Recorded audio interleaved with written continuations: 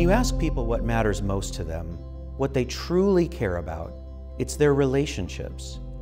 Most of us would give up anything else to preserve our bonds with our families and loved ones.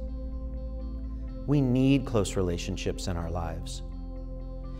Yet, even with all the ways we have to communicate with each other these days, we can still feel lonely, hungry for more affection from the people who matter to us.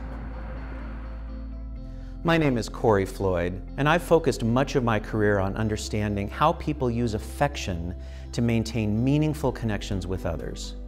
When we hug people or kiss them or say we love them, we strengthen the bonds we have with our friends, our relatives, and our romantic partners that are so essential for meeting our social needs.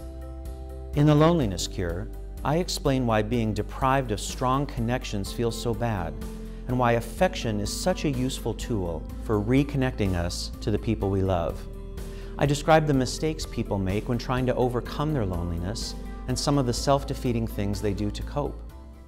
Finally, I offer six concrete strategies for nurturing stronger, more meaningful connections with others. When it comes down to it, most of us don't measure the quality of our lives by how famous we are or how much money we make. It's about people and the relationships that give our lives meaning. To learn how to strengthen those essential bonds, pick up a copy of The Loneliness Cure and reconnect with the people who matter to you.